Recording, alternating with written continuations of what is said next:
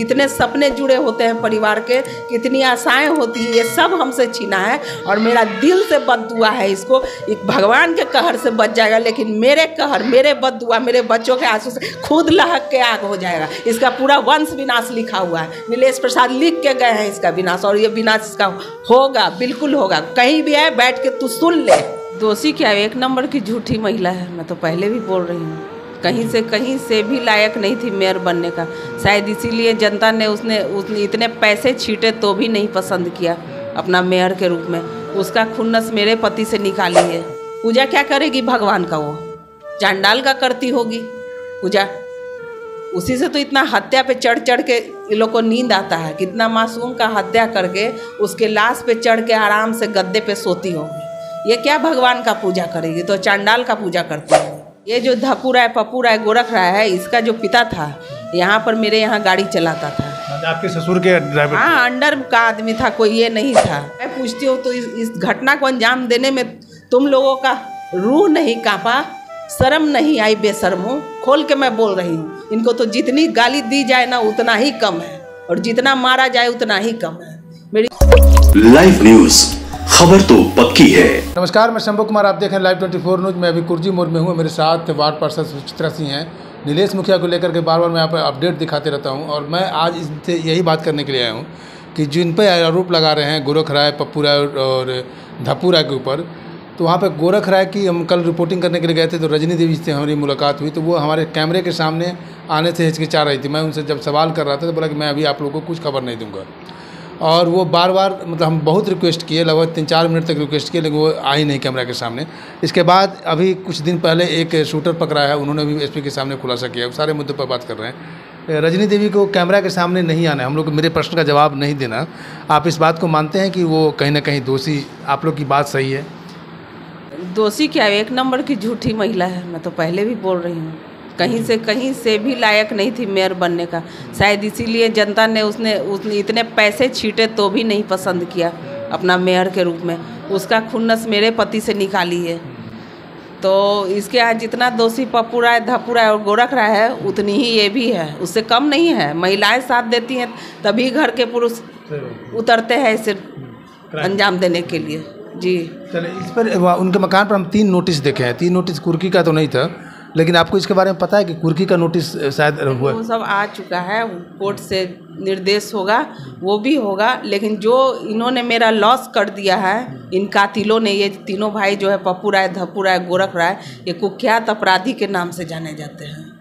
हत्यारे हैं मेरे पति के। अच्छा, अब हाँ, तो इनका आ... कुछ भी लॉस हो जाएगा लेकिन मेरे लॉस से बड़ा लॉस नहीं इसका नहीं हो नहीं हो सकता। क्षतिपूर्ति नहीं हो सकती नहीं कभी नहीं हो सकती। अच्छा, ये जो बार बार ये बात बोल रही थी जैसे कि जब आ, कुछ देर के लिए हम ऑफ़ ऑफ़ कैमरा थे मेरा कैमरा नहीं निकला हुआ था। तो वो बार बार ये बोलते थे कि मैं पूजा पर बैठी हुई थी और मैं पूजा करने के लिए जा रहा हूँ। भगवान से प्रार्थना करूँगा कि मेरा पति सब निर्दोष है, इसमें कोई दोषी नहीं है। ये बेवजह मतलब आप लोग के द्वारा मतलब कि नीलेश मुखिया के परिवार के द्वारा इल्ज़ाम लगाया जा रहा है उनके ऊपर कि उनके द्वारा ये हत्या करवाया गया अब कैसा उसको सफ़ाई चाहिए भाई? उसका बेटा आता है, बोलता है, इसका जाँच, उसका जाँच, किसका जाँच चाहिए? खुल के तो तुम्हारा नाम सामने आया है, लोग देख रहा है, क्या मैं जाके लिखवाई हूँ इसका नाम? या मेरा परिवार बोल के आया है ये लोग करवाया है पप्पू राय धप्पू राय और गोरख राय एसएसपी द्वारा ही बयान आया है ना? सबके कान खुले हुए हैं ऐसा नहीं किसी का कान बंद हो गया है कोई सुन नहीं रहा है। पूजा क्या करेगी? भगवान का वो चांडाल का करती होगी। पूजा उसी से तो इतना हत्या पे चढ़ चढ़ के ये लोग को नींद आता है। कितना मासूम का हत्या करके उसके लाश पे चढ़ के आराम से गद्दे पे सोती होगी। ये क्या भगवान का पूजा करेगी? तो चांडाल का पूजा करती होगी। चंडाल की पूजा करती होगी ये रजनी देवी से आपकी और उनके बीच में आपका भी इंटरेक्शन हुआ है बिल्कुल भी नहीं। मेरी शादी जब से हुई है, इन लोगों का आना जाना यहाँ पर बिल्कुल भी नहीं था।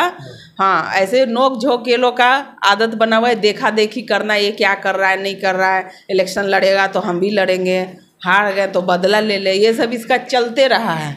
लेकिन कभी नीलेश प्रसाद ने इसके लिए इसको उजागर नहीं किया।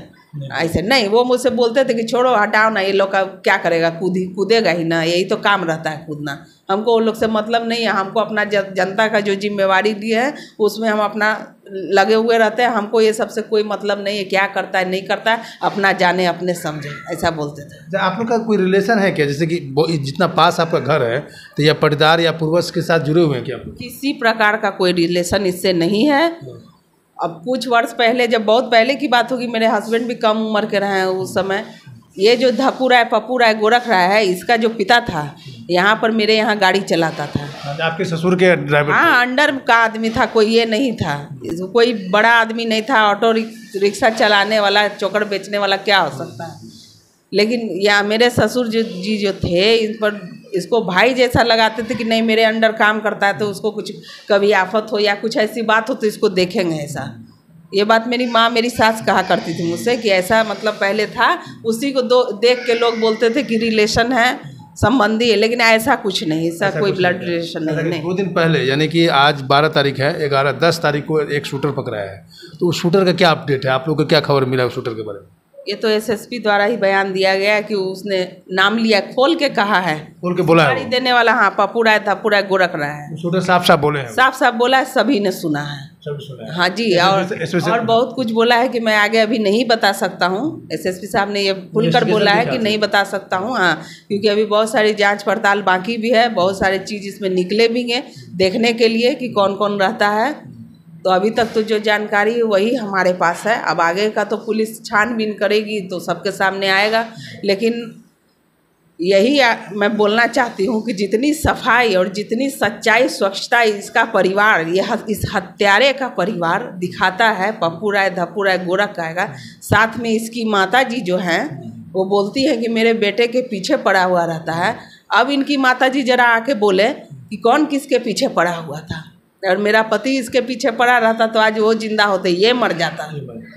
लेकिन आज देखिए मार के सीना तान के पता नहीं कहाँ भागा हुआ है बोलता है कि जहाँ पुलिस प्रशासन बुलाएगी मैं वहाँ आऊँगा। तो कहाँ है? आना चाहिए। इसकी भाभी भी बोलती है कि हर तरह से मदद करेंगे।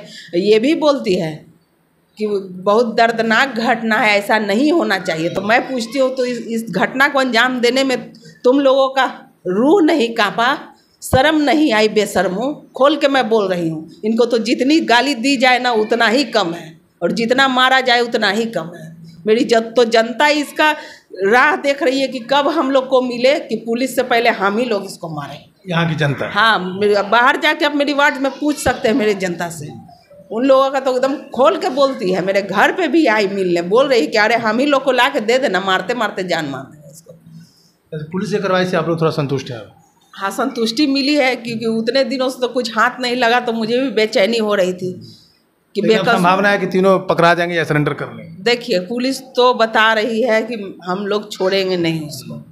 तो उन पर हम लोग विश्वास कर रहे हैं। ऐसे अपराधी को ढूंढ के लाना ही चाहिए। बिल्कुल और इसको फांसी होनी ही चाहिए। क्योंकि किस एक हत्या हत्या तो हत्या है। किसी का भी जान लेना बिना मौत के मौत देना बहुत जघन्य अपराध होता है। कितने सपने जुड़े होते हैं परिवार के, कितनी आशाएँ होती है, ये सब हमसे छीना है और मेरा दिल से बद दुआ है इसको। एक भगवान के कहर से बच जाएगा, लेकिन मेरे कहर, मेरे बद दुआ मेरे बच्चों के आँसू से खुद लहक के आग हो जाएगा। इसका पूरा वंश विनाश लिखा हुआ है। नीलेश प्रसाद लिख के गए हैं इसका विनाश, और ये विनाश इसका होगा, बिल्कुल होगा। कहीं भी है, बैठ के तू सुन ले।